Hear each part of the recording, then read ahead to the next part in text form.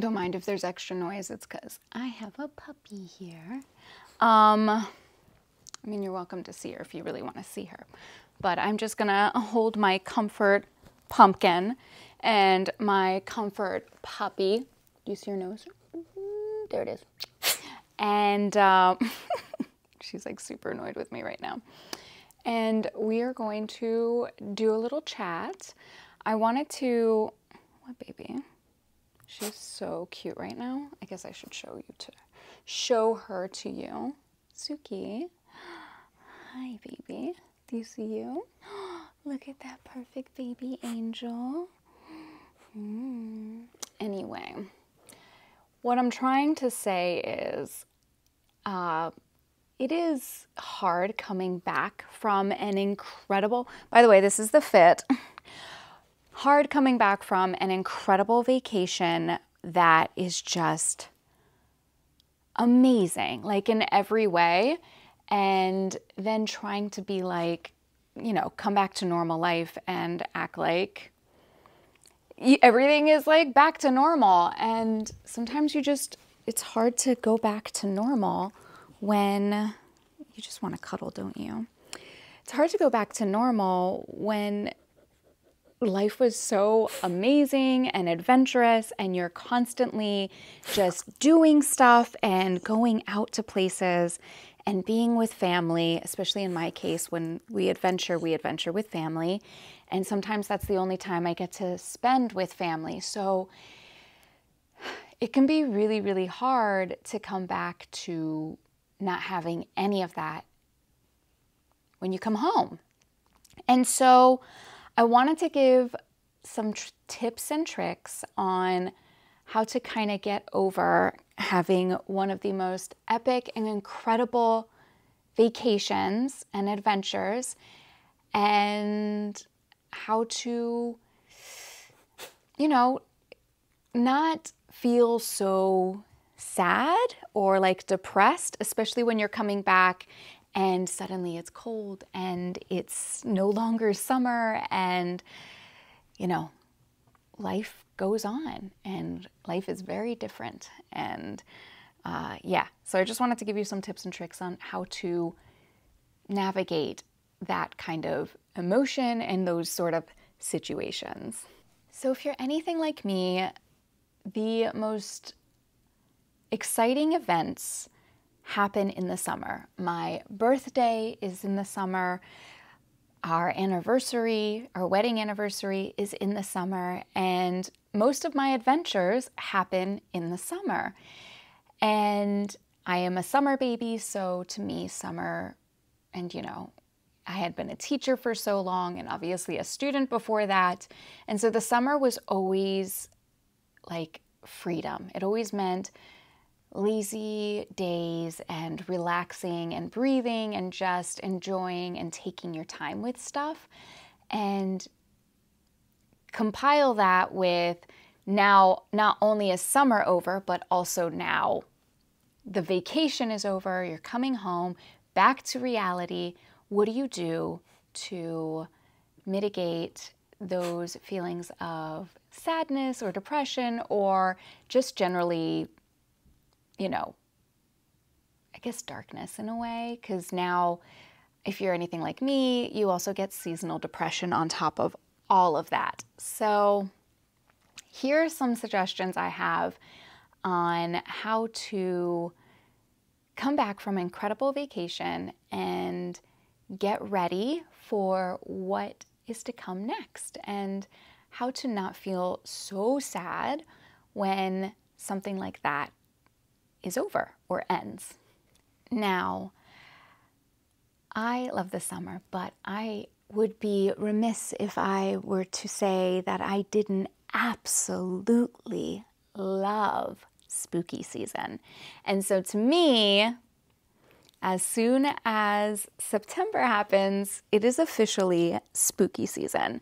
Um, I get cozy, I get my favorite spooky fits out, and that is some of how I can navigate being okay with summer being over.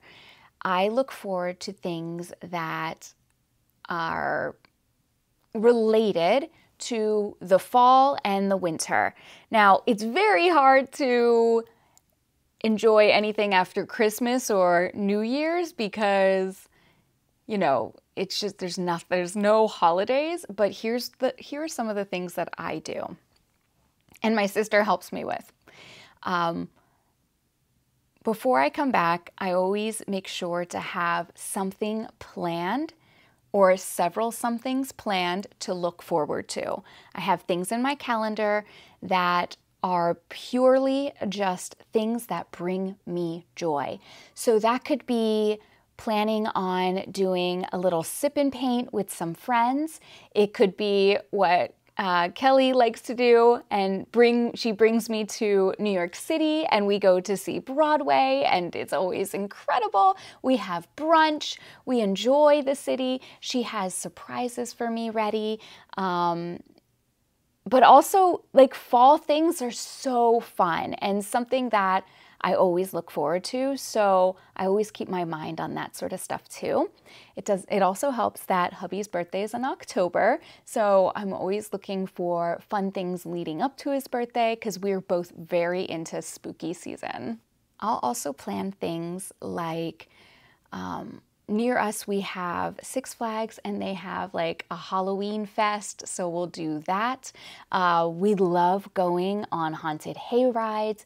We love doing pumpkin picking with our friends and their babies, uh, apple picking, and then after that we make apple pies together. It's just there's something to be said about having tradition and uh, just looking forward to doing things, and then also because we're creatives, we like to create not just necessarily content, but like we like to do photos and like have photo sessions that about things that inspire us. And as the season gets a little cooler, it's nicer to be outside. The lighting can be really beautiful for photos, stuff like that, even video. So we also like to kind of put our creative caps on and do things that inspire us and make us happy and do like spooky photo sessions or um, just like fall, Halloween, cutesy couple things. Uh, but yeah, just just planning those things can be so exciting and really just take your mind off of what just ended and really put you in the mindset of things that you can look forward to. And I'm not just talking about Halloween and stuff like that. I mean, obviously, after Halloween, we have Thanksgiving, which generally we spend with family. And then, of course, there's Christmas and all the holidays that happen with that, and the Christmas lights and all that sort of stuff. But, um, for me, it really kicks off with Halloween and the spooky season and like the super cute fits. I mean, I am obsessed.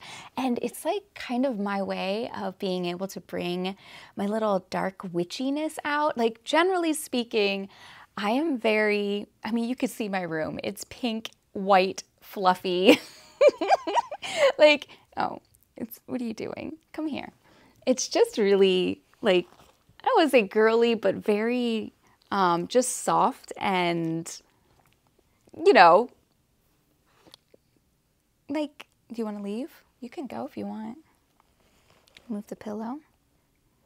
It's just like not your dark femme aesthetic, but I'm, I would be lying to you if I told you I didn't have that. Like, there is a side to me that I'm really like into the dark femme, and that is so me. I am just super like there's something about being a little witchy and a little bit of magic and mysterious and corsets and lace and fishnets and big black shiny boots. I mean, there's just something to be said about having a little ethereal darkness about you. And that is very me.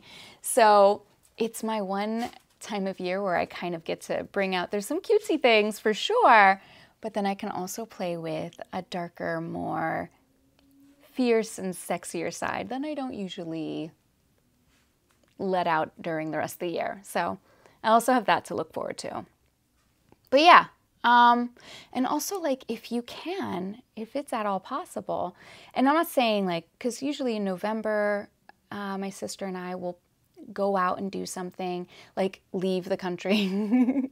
but also in January or February, I feel like since those are the darkest and coldest days of the year, those would probably be the best time to plan something to leave, like something with palm trees and beaches. You know what I'm saying? Like that way you can look forward to those darker, drearier months and have a bit of sunshine and kind of bat away some of that seasonal depression that a lot of us get and come back and you know spring is starting to show up that sort of thing that's my suggestion uh, but yeah and i also kind of love with fashion for me like i love to play with the different things coming in fashion and uh, when it comes to different seasons obviously you know, clothes change based on what the season is. So um, I can be a little more creative fashion wise as well because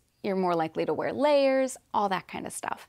Anyway, uh, those were some of my ideas and some of the things that I do to kind of combat some of the sad feelings of when something incredible ends, like when we came back from Aruba or when um, you know, just now, like we, you know, hubby and I came back from Italy. Like, what did I have planned? Well, my sister obviously had some things planned, and also I looked forward to seeing the puppy, so I have that as well to look forward to.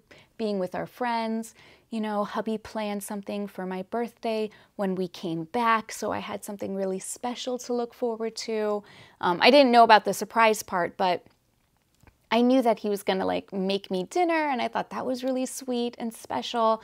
And so I looked forward to him, you know, like making another day before August ended really special and kind of about me. And yeah, so if you have people in your life that also like to surprise you and make you smile, um, you know, this is one way that they could do that. Like have things planned for you when you come back from a vacation or an adventure, something you've really experienced and you're kind of sad is over. But anyway, I hope those tips and tricks helped. I hope I gave you some ideas to kind of even going forward into the seasons as they start to get darker and colder and seasonal depression eventually kind of sets in. Um, so I hope that helps. But I also hope you had an amazing day. Thank you so much for spending time with me today. Um, real quick, let me show you what I am wearing because I think you might love it. So let me show you real quick. Okay, as promised, the fit for today. I mean, hello. I mean, honestly, yeah. So cute, right? Ah, I love it. Anyway, I hope you have an amazing day and uh, let me go back and I just wanted to I just wanted to show it to you real quick. Okay. Oh my god, so cute, right? Mm. Okay, yeah, so it's Sailor Moon. I mean, like, you, you get it. It's adorable. We're going for the witchy vibes today. Um, but anyway, I, I just wanted to share it with you real quick. Uh, but yeah, so thank you so much for spending time with me today. Please don't forget to like and subscribe. And as always, I will see you tomorrow. Tomorrow we are going to do an oat-free granola recipe because on my journey of being healthy, I'm realizing that there are certain foods that, yeah, you, you, it's not, sorry, I have Suki fur in my mouth. Did I get it? Oh, there it is. It's not necessarily about moderation, but there are some things that you really should genuinely just avoid, and you don't necessarily have to have them in your diet. And I, through experience, oats are one of them. So that's why I'm going to help you create an oat-free granola um, that you can put in, like I like to put it in the yogurt uh, with some fresh fruits, strawberries, blueberries, all those things. Um, but yeah, anyway, so that's what we're doing tomorrow. And this weekend is just going to be nice, relaxing. Uh, maybe we can clean together because I need to get all this cleaned up. Uh, it's about time. And yeah. And then next week, next week's going to be really fun. I have a lot of really cool ideas that I want to do with you. So stay tuned for that. And yeah. Anyway, Please don't forget to like and subscribe, and I'll see you tomorrow. Until next time.